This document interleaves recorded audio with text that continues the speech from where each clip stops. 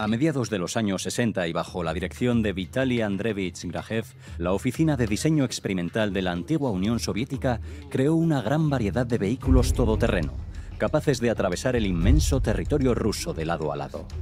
Uno de estos proyectos, quizás el más ambicioso, fue la gama de modelos Z y L. En concreto, el ZIL 4906, o también conocido como pájaro azul, comenzó su desarrollo a raíz de un desafortunado incidente en 1965, cuando la tripulación de un cohete espacial encontró complicaciones al regresar a Tierra y cayó en alguna parte de la estepa kazaja. El legendario Vitaly Grajev y su equipo de ingenieros recibieron la difícil tarea de crear un vehículo capaz de atravesar por cualquier terreno para rescatar a los cosmonautas que aterrizaran desde el espacio. En ese sentido, el pájaro azul se convirtió en un vehículo clave.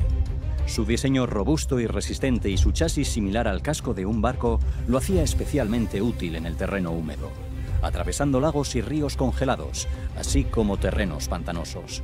Además de su capacidad acuática, también estaba equipado con un brazo hidráulico que le permitía cargar y transportar el módulo de aterrizaje u otros vehículos más pequeños y ágiles.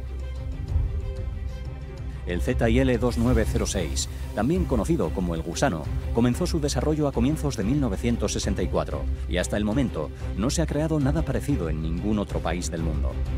La historia de esta otra máquina nació de otro episodio dramático con los astronautas, cuando un módulo de descenso cayó en un lago congelado, atravesando el hielo y dejando la escotilla de salida sumergida bajo el agua helada.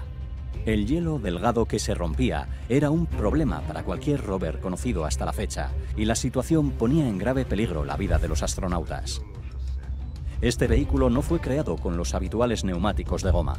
En lugar de eso, incorpora un sistema de propulsión por hélices de tornillo rotativas.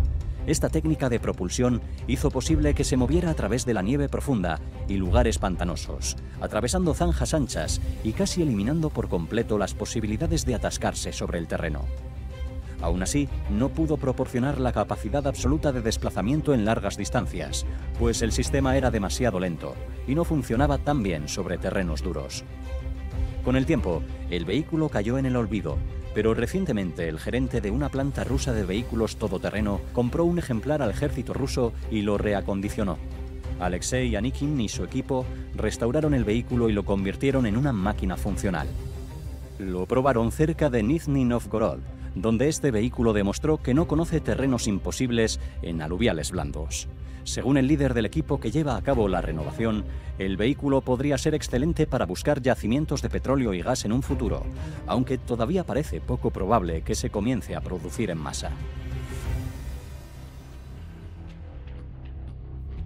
El vasto paisaje ruso, especialmente las inhóspitas y deshabitadas regiones del noreste, siempre han requerido de camiones extremos. Para atravesar largas distancias se creó el SVG 701 Yamal, Pocas personas lo saben, pero este es el vehículo todoterreno con orugas más grande del mundo. Las pruebas de campo demostraron excelentes resultados, aunque nunca entró en producción en masa y solo se crearon dos o tres prototipos. El Yamal no sabía nadar, pero podía llevar 70 toneladas de carga prácticamente a cualquier parte. Su depósito gigante podía almacenar más de 2.000 litros de diésel, lo que le permitía recorrer 750 kilómetros en un recorrido con dificultad media. Fue básicamente un monstruo del pantano, con un voraz apetito de casi 300 litros por 100.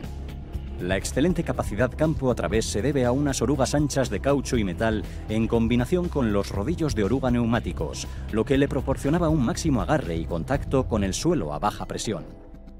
Estaba equipado con un motor diésel de 12 cilindros en V de cuatro tiempos y una potencia nominal de 220 kilovatios a 1900 revoluciones por minuto. La transmisión era mecánica, caja de cambios de 16 velocidades hidráulicas sin interrupción en el flujo de potencia. La tripulación tuvo relativa comodidad en la cabina, con una salida de calefacción independiente del motor, un lugar para dormir y todo lo necesario para sobrevivir. Además se decía que controlar a este monstruo era sorprendentemente fácil.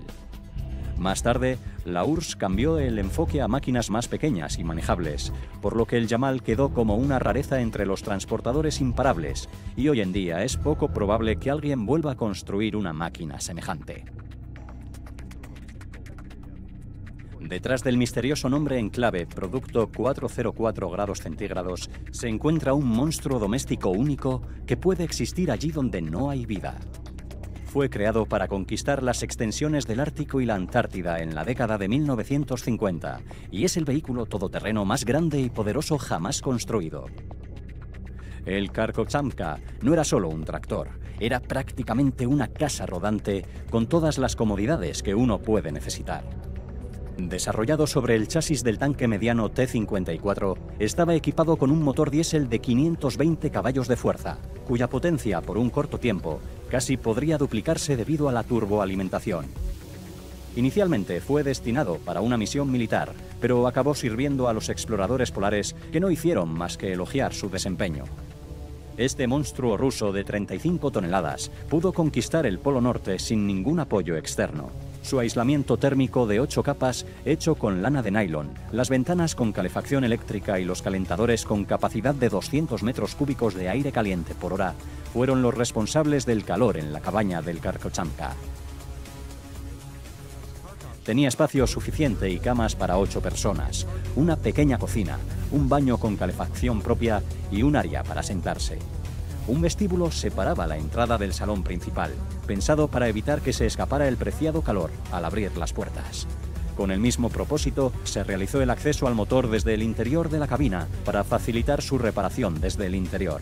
Pero esto resultó ser poco exitoso. Los gases de escape se filtraban en la cabina.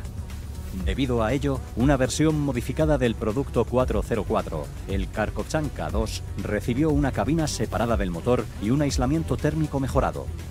En este modelo, incluso con el sistema de calefacción apagado, el Karkovchanka 2 perdía tan solo 2 o 3 grados de temperatura interna por día.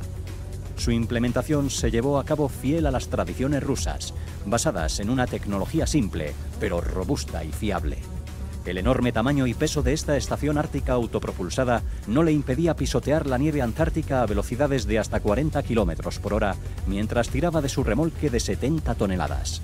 Tal avance estuvo asegurado por un motor diésel V12 con 955 caballos de fuerza. Hasta la fecha no hay análogos de este vehículo en el mundo. Nadie ha podido desarrollar algo similar y aunque muchos de ellos se encuentran parados para siempre, a día de hoy se siguen utilizando como vivienda en las estaciones polares rusas.